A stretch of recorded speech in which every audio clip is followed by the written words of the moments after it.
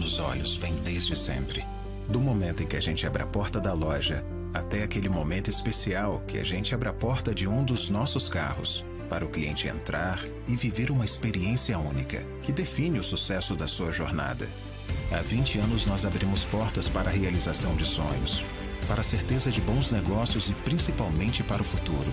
Sempre como se fosse o primeiro dia. Eurobike. Guiados por emoção.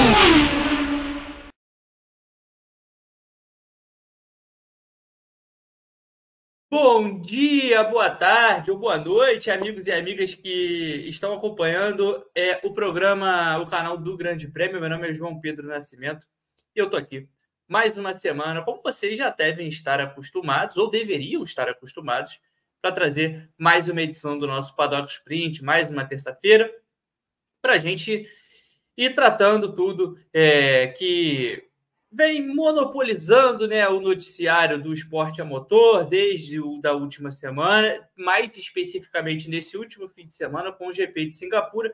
A gente teve algumas novidades em relação é, não só a, a, coisas que acontecem né, atualmente no grid, mas em relação também ao que vai acontecer, principalmente a partir de 2026. Mas a gente vai falar muito sobre 2024 aqui, porque Max Verstappen é, travou uma batalha particular contra a FIA nesse fim de semana lá em Singapura, 18ª etapa da temporada 2024 da Fórmula 1.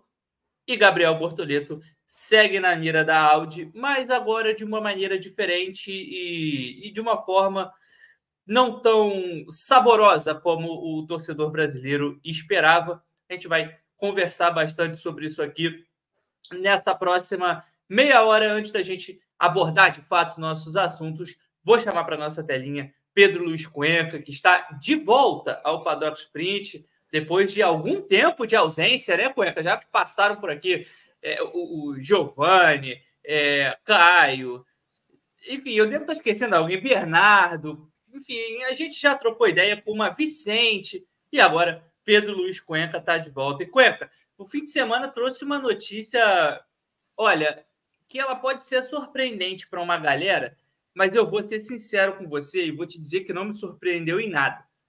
Parece que a Audi ela resolveu dar mais um ano, mais uma oportunidade de uma temporada para o Bottas e vai avaliar de fato quem vai ser né, o companheiro do Huckenberg na equipe para 2026. Então, o Bottas ainda teria mais um ano é, de, de, titularidade na Fórmula 1, mais uma temporada né, no comando ali do carro da Sauber, enquanto Gabriel Bortoleto seria movido né, ao posto de piloto reserva. E aí essa avaliação ocorreria ao longo de 2025 para decidir de fato quem será o piloto Audi, companheiro de Huckenberg, em 2026. Para a gente abrir os nossos trabalhos no Paddock Sprint de hoje, Logo depois de eu pedir para o pessoal deixar o like aqui no nosso programa e ajudar a espalhar o Paddock Sprint no YouTube todo, quero saber o que você pensa desse plano. Ué, boa tarde. Olá, JP, a todos que estão nos acompanhando, a Pedro Prado, que está aqui na, nos bastidores. É, eu vou te dizer que eu também não me surpreendi muito, não, tá? É, parecia uma ideia já que a Audi estava ensaiando para soltar aos poucos, estava ensaiando para testar ali o público.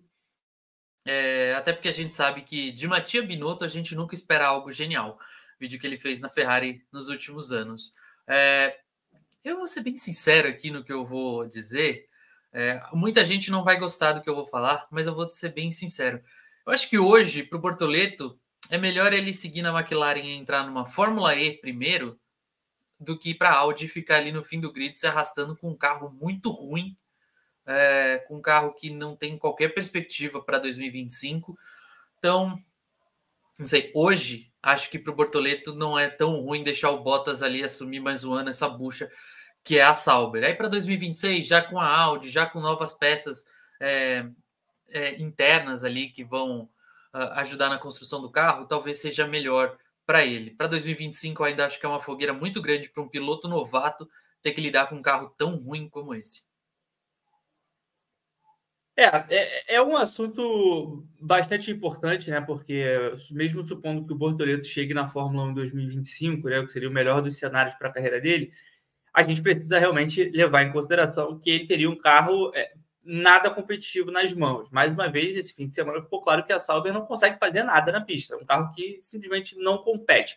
O que, por sua vez, acaba é, melhorando um pouco a situação do Bottas, porque ele não faz nada no carro, mas o carro também não permite que ele faça nada. É claro que existem casos e casos. Então, uma coisa é o Bottas terminar em penúltimo porque o carro é horrível, mas outra é ele é, ser engolido pelo Guan Yu Zhou nas primeiras voltas de uma corrida de rua. Então, assim, a gente precisa também separar é, as duas coisas. Mas, Cueca, se, será que, seguindo né, esse plano, é, levando em consideração que esse plano da, da Audi realmente é, se solidifique para 2025, seria muito é, prejudicial a carreira do Bortoleto passar um ano sem fazer nada? A gente tem um exemplo disso e a gente vai tratar um pouco mais na frente aqui do nosso programa. Não precisa ser necessariamente agora, porque é uma pergunta que a qualquer momento, se o chat fosse ao vivo, a pergunta já, já teria aparecido aqui. Mas passar um ano sem fazer nada pode ser prejudicial demais para a carreira dele? Aí, aí é uma questão complicada. A gente tem exemplos dos dois lados. A gente tem exemplos de pilotos que passaram um ano uh, sem fazer nada. Sem fazer nada, eu digo como piloto reserva, tá? Só para deixar é, claro para o é. pessoal que está assistindo a gente, porque sem ah, ser piloto, piloto titular, não faz nada. É, sem correr lugar nenhum. Sem correr todo fim de semana, né? Que basicamente é a temporada da Fórmula 1, é todo fim de semana. É, nós tivemos exemplos ruins, um deles é assim bem próximo a gente, né, de um piloto brasileiro que a gente vai citar mais para frente, que foi o Drogovic. Mas a gente tem exemplos positivos. O Oscar Piastri também ficou um ano sem correr depois da Fórmula 2. O Jack Durham não, não foi titular esse ano em nenhum lugar e está aí assumindo uma vaga na Alpine para 2025. A gente tem diferentes exemplos. Eu acho que é, tem também toda uma questão de, de acelerar passos, na minha visão. Óbvio que o Bortoleto tem se provado um piloto forte, mas é aquela coisa. Pô, passou pela Fórmula 3, já no ano de estreia ganhou, foi para a Fórmula 2, já no ano de estreia tá brigando por título. Às vezes o piloto precisa dar aquela amadurecida e um ano ali testando o carro, usando o simulador, é, buscando novas opções para não ficar parado, talvez seja uma ideia que ajude nessa, nesse amadurecimento, nessa, nessa evolução do piloto. É, óbvio que o mercado não vai faltar, você pode colocar o piloto para correr numa super fórmula lá no Japão, para ir desenvolvendo. A Red Bull fez bastante isso é, com Liam Lawson, com Pierre Gasly, é, deu certo no, no, no passado para eles. Então, acho que ficar esse ano parado, como a gente diz, não é o fim do mundo. É óbvio que você não pode esperar o bonde passar, é, porque aí depois vai ficar muito complicado, como a gente viu no caso do Drogovic. Ficou muito tempo ali esperando no Aston Martin e deixou a oportunidade passar em outros lugares para ir amadurecendo. Eu acho que ainda tá. O Bortoleto é muito novo e tem bastante mercado. Ele tem bastante gente forte ao lado dele, como o Fernando Alonso, por exemplo, e ficar de piloto reserva por uma temporada não é o, não é o fim do mundo, na minha opinião. Me chama a atenção, antes da gente tecer algumas comparações, é, me chama a atenção, Cuenca, que a Audi é, é, ela chega agora na Fórmula 1 sob um novo regulamento em 2026 chega como uma nova equipe, uma nova identidade, né? Uma coisa mais moderna em relação né, a uma Sauber, né? Que a gente que está no grid há muito tempo, né? Sobre várias nomenclaturas diferentes, mas está no grid há muito tempo.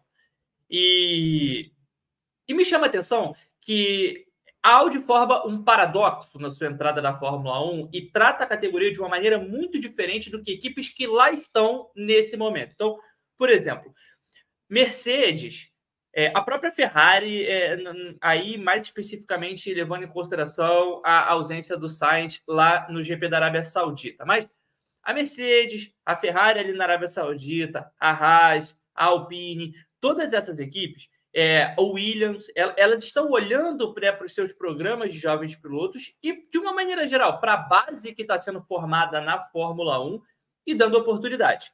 A Mercedes vai ter o Antonelli como titular, a Alpine vai ter o Jack Durham, a Haas vai ter o Oliver Berman, a Williams é, decidiu demitir o Sargent, optou pelo Colapinto, ele vai fazendo, um, né, é, é, as primeiras participações dele são muito boas.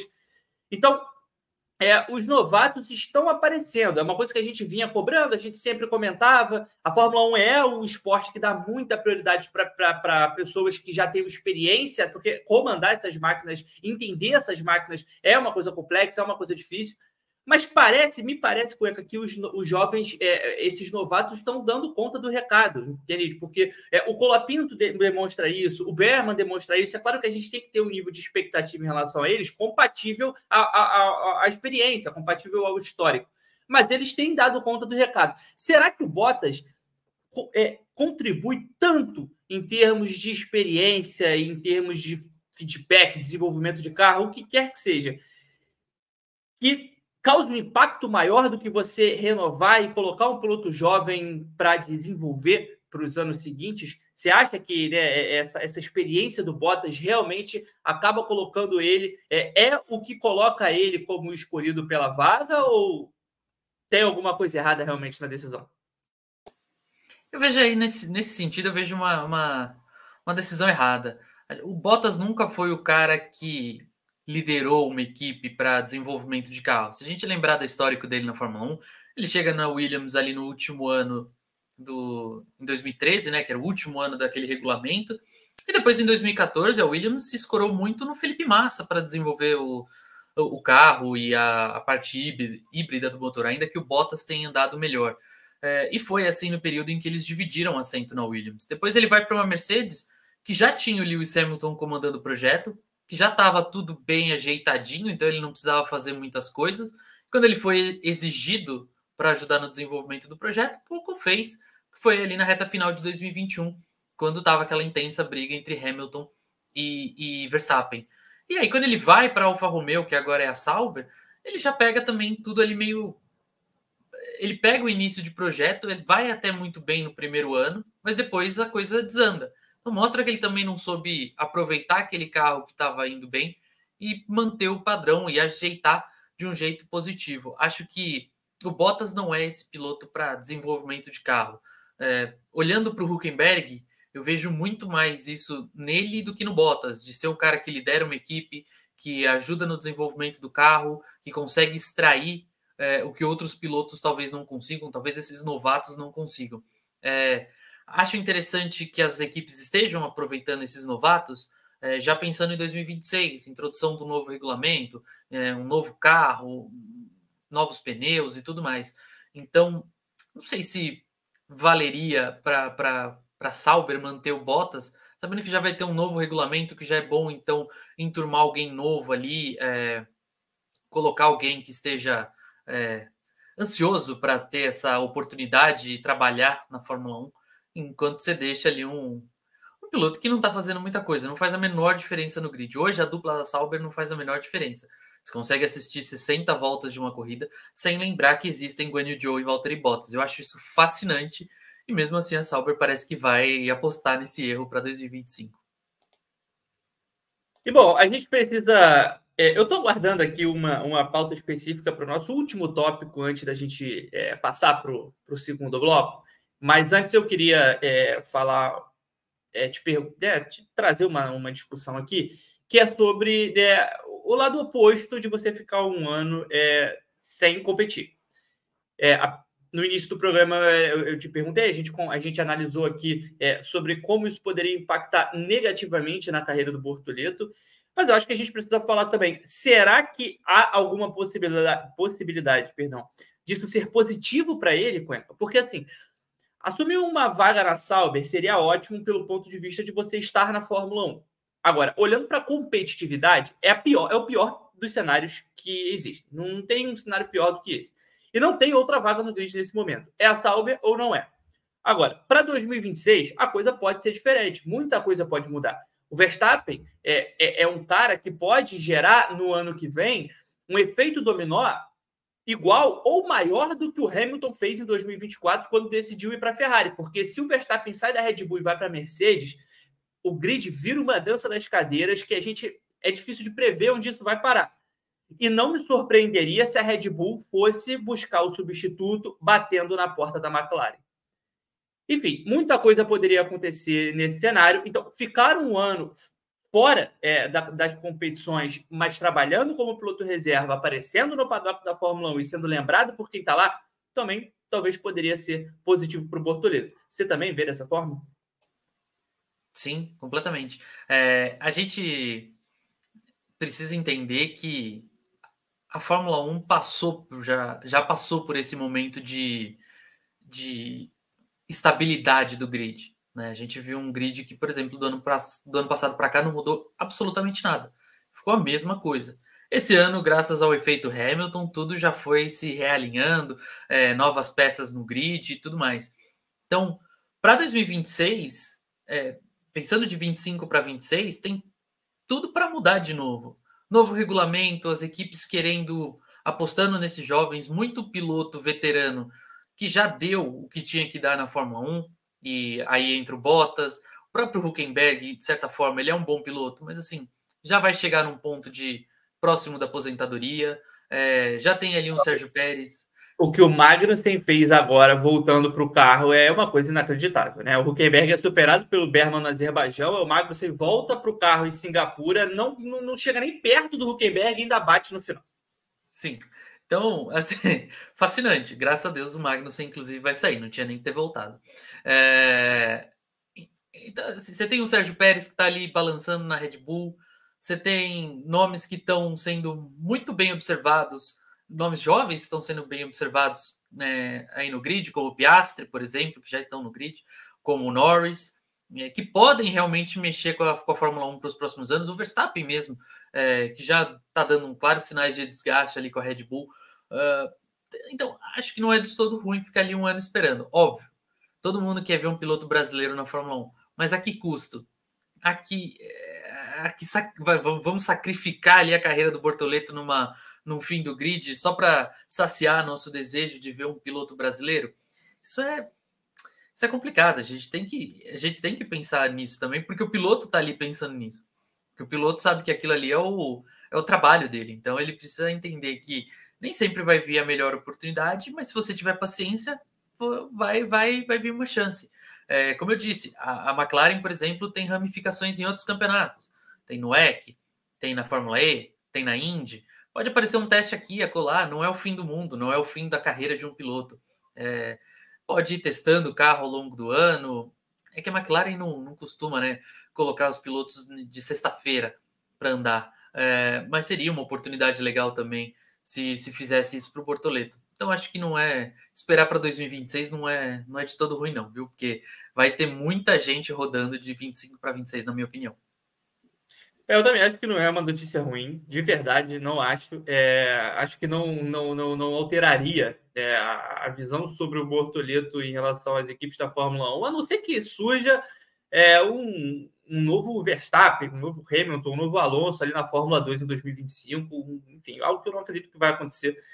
É, alguém que conseguisse furar a fila. Isso é possível, isso é possível, a gente sabe que isso acontece, a gente já viu isso acontecer, mas eu também não acho que seja né, o pior dos planos, não. Gostei da comparação que você fez né, em relação ao, é, aos anos, é aquela velha história, né? É dois reais ou uma surpresa misteriosa, né? Nesse caso, a Sauber é uma surpresa misteriosa não dá para saber o que vai acontecer. Então, o que, que o pessoal prefere? Ver o Bortoleto na Fórmula 1 2025, mas com um carro horroroso, ou a partir de 2026 em condições de competir, buscar alguma coisa aqui e ali? É, é, uma, é algo diria, a se pensar.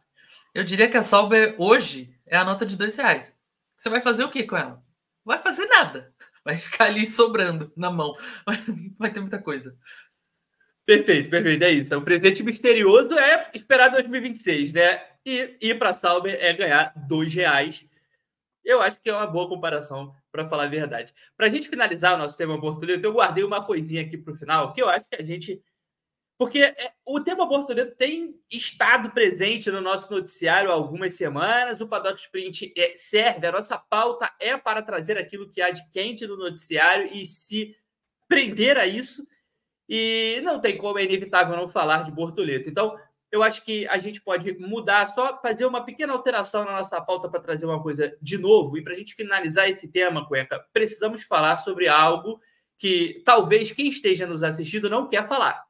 E que talvez pô, me xingue e tal. Eu encorajo. Eu acho que deveria me xingar mesmo, deixar os comentários aqui. Um monte de comentário, quanto mais xingamento, não tem problema nenhum. Mas a gente precisa falar. É, existe a possibilidade, assim, primeiro se falava sobre ser titular no ano que vem, agora se fala sobre ficar um ano descansando ali, né, como piloto reserva, e aí observar as coisas de uma maneira melhor para 2026. E a gente tem que tocar num ponto que é um, que é, que é um pouco sensível, mas que a gente pode, pode ajudar a gente a finalizar também um pouco é, esse, esse tema, pelo menos por hoje. Existe a possibilidade de Bortoleto ser o novo Drogovic e o bonde da Fórmula 1 passar em algum momento, porque muito se falava sobre Drogovic na Fórmula 1, me parece fora da realidade, me parece completamente utópico nesse momento. E essas coisas mudam muito rápido, mudam assim. Será que tem chance do Bortoleto passar por uma situação dessa também? É, aí vai ter que vai depender muito do gerenciamento da carreira dele. A questão do, do Drogovic é, e aí, muita gente não gosta de ouvir isso, mas eu gosto de bater nesse, é, nesse ponto, que é o fato dele ter ficado parado como um todo. Ele não fez nada. Ah, fez um teste ali na Fórmula E. Ah, olhou para tal categoria. E aí, quando ele viu, não tinha mais nada. Não tinha Fórmula E, não tinha Indy, é, não tinha WEC, sobrou o European Le Mans Series para ele. Então, acho que para o Bortoleto é ficar atento ao mercado é, não pintou a chance na Fórmula 1, não é o fim do mundo. Ah, pintou uma chance na Fórmula E, pintou uma chance na Indy. Cara, vai, arrisca. É, as portas não vão se fechar de cara para você. Não são mercados é, que vão te tirar do holofote. Pelo contrário, são mercados que ainda estão bem visíveis, são bem importantes é, com marcas grandes que estão ali de olho em você, que querem entrar numa Fórmula 1, por exemplo. Então, não descarte qualquer oportunidade. É, senão vai sobrar realmente uma European Le Mans Series para você e você vai ficar ali chupando o dedo. Fazer o quê? Acho complicada a situação de ambos por estarem em, em academias é, curtas, digamos assim. É, o Bortoleto entrou na da Aston Martin, cuja opção era Aston Martin apenas. Então não tinha muito para onde ele fugir ali no, se ele quisesse Fórmula 1. É, pior ainda, tendo uma equipe que o filho do dono corre, então não vai sair tão cedo, por pior que seja. Drogovic é muito melhor que o Lance Stroll, mas o Stroll não vai sair dali porque ele é o filhinho do papai, literalmente. É... E agora na McLaren, o Bortoleto também tá nessa. Ou ele tem a McLaren ali, se ele pensar em Fórmula 1, ou uma opção e só. Só a McLaren, que está bem consolidada com dois grandes pilotos. Então, tem essa situação aí complicada. Mas eu acho que vai depender muito do gerenciamento da carreira, mas eu acredito que não vai ser um novo Drogovic, porque ele vai aprender com as lições, Bortoleto. Bom, é, para a gente passar né, para o nosso último tópico do programa de hoje, que é uma coisa que tem, tem enfim, sido protagonista né, no noticiário aí da, da, da Fórmula 1 desde o fim de semana, que é a, a como eu gosto de chamar, polêmica do palavrão. É, uma, o Verstappen disse que o carro estava. É, eu, eu, não tenho certeza se eu posso falar essa palavra aqui, então eu vou. A palavra com F, né, lá no Azerbaijão, e aí pô, o, o Mohamed Ben Sulayem, presidente da FIA, ele criticou né, a, a, o uso de palavrões de uma maneira mais repetitiva disse que a FIA ia investigar isso, ia, né, ia tentar controlar isso, e na coletiva do GP de Singapura, o Verstappen foi lá e usou a palavra de novo. Assim, foi punido e vai ter que pagar é, serviço comunitário, né, como é, determinou a Fórmula 1. E a partir desse momento, muita coisa aconteceu. O Hamilton disse que não faria, disse que não cumpriria o serviço comunitário. Os pilotos, de uma maneira geral, saíram em defesa do Verstappen. O Verstappen passou a responder as coisas na coletiva de forma monossilábica.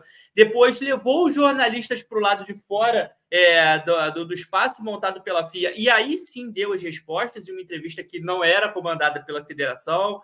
Muita coisa realmente aconteceu. A polêmica foi instaurada. O Verstappen chegou a dizer que é o tipo de coisa que afasta ele da Fórmula 1 e pode fazer com que ele se aposente mais cedo.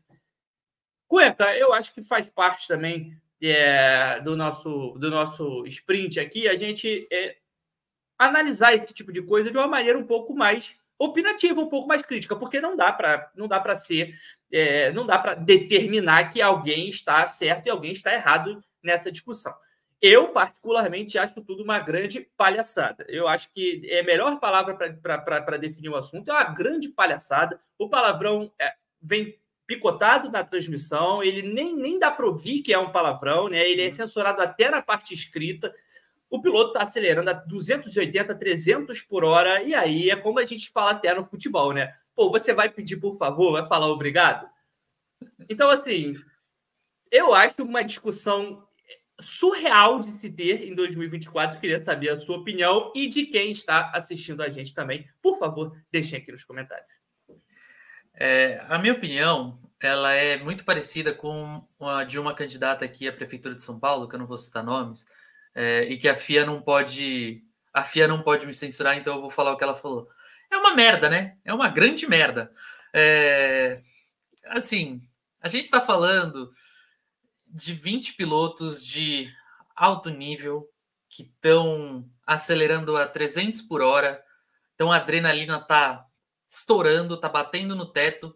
Não tem como você falar é, de uma maneira educada, não tem como você falar de uma maneira polida muitas vezes. Às vezes você quer verbalizar aquilo e vai sair um palavrão, vai sair alguma coisa que, ó, oh, crianças não podem ver. Mas como você bem disse, a transmissão censura, tem o pi, tem ali os asteriscos que impedem de você saber o que, que exatamente o piloto falou. Então não é, ah, é, é uma coisa tão tão vazia essa discussão da FIA, essa imposição da FIA, que, que de fato cansa isso. E ainda bem que os pilotos conseguiram mostrar isso no fim de semana. Principalmente os pilotos grandes, como Verstappen, como Hamilton, que são ali os líderes, são ali os, os grandes ídolos do grid.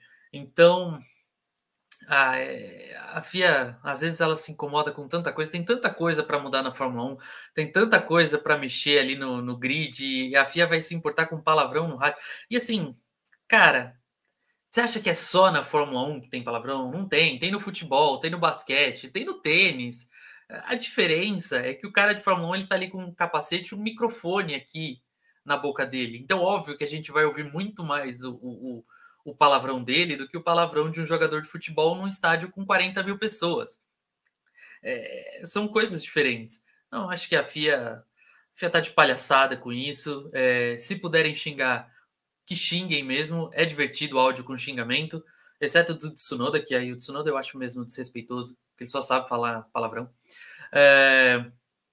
Mas é aquela coisa, não, não vai mudar em nada. E tem isso, tem muito piloto que muitas vezes não é alfabetizado em inglês, então ele vai aprendendo ali, entra o palavrão no meio, porque é mais fácil na comunicação com o engenheiro. É... O próprio Verstappen usou essa, esse argumento. Então, eu acho uma grande besteira da FIA, que tem tanta coisa para mudar no esporte, tem tanta coisa para melhorar na Fórmula 1. É, essa é a última coisa que eles deviam se intrometer, até porque eu gosto dos áudios com palavrão, vou ser bem sincero, eu, eu acho divertido. Quando tem aquele palavrãozinho assim no meio, quando pinta o pi, eu já sinto que é, um, que é um piloto bravo, que é alguma coisa importante. Então eu gosto disso na transmissão. É, eu costumo eu costumo fazer algumas defesas né, em relação ao Tsunoda, é, em alguns casos que eu acho que são um pouco injustos, só que esse aí não dá para defender. Ele tá, tá passando por, por um, né, uma, ele tá, tá com um engenheiro de corrida novo, né? Então tá precisando passar por essa é, esse ajuste, né, entre a comunicação entre ele e o engenheiro e, e cara, a, a, aconselho o pessoal aí a acompanhar os rádios do Tsunoda porque é, é uma coisa tenebrosa, é uma coisa tenebrosa, e inclusive eu acho que eu concordo muito com isso, acho que ele tem passado do ponto. É, o engenheiro deu uma informação normal para ele durante a corrida, e aí ele diz: Ah, é muita informação, né? E aí corta o engenheiro. Enfim, não, não tem sido realmente uma relação muito fácil. Quanto ao Verstappen, eu tenho ressalvas em relação ao comportamento dele muitas vezes.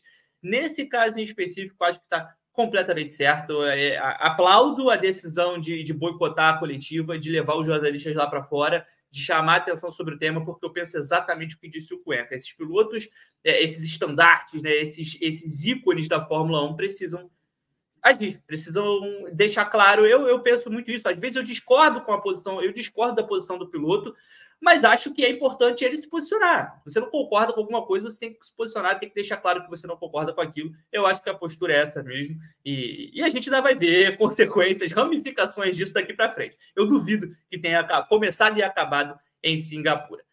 Eu vou agradecer a presença de Pedro Luiz Cuenca em mais uma edição do nosso Paddock Sprint. Pedro Prado, que está aqui na produção com a gente também. Três Pedros no programa, inclusive, né? Eu nunca tinha parado para perceber isso. João Pedro, Pedro Luiz e Pedro Pedro. É. É, agradecer a, a, todo o pessoal que, tá, que acompanhou o Paddock Sprint com a gente hoje. Não se esqueça de deixar o comentário, deixar o like, se inscrever no Grande Prêmio. Ajuda muito a gente a espalhar é, o nosso vídeo, mostrar para todo o pessoal que puder gostar né, do Grande Prêmio, acompanha o automobilismo, quer saber daquilo que é mais recente, que está quente no, no noticiário do esporte a motor, é só chegar aqui no canal do Grande Prêmio e em grandepremio.com.br. Na semana que vem a gente está de volta. Valeu!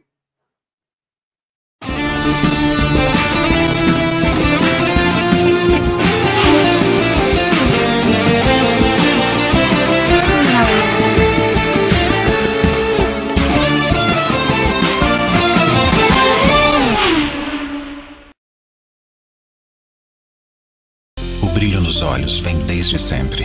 Do momento em que a gente abre a porta da loja até aquele momento especial que a gente abre a porta de um dos nossos carros para o cliente entrar e viver uma experiência única que define o sucesso da sua jornada. Há 20 anos nós abrimos portas para a realização de sonhos, para a certeza de bons negócios e principalmente para o futuro. Sempre como se fosse o primeiro dia. Eurobike. Guiados por emoção.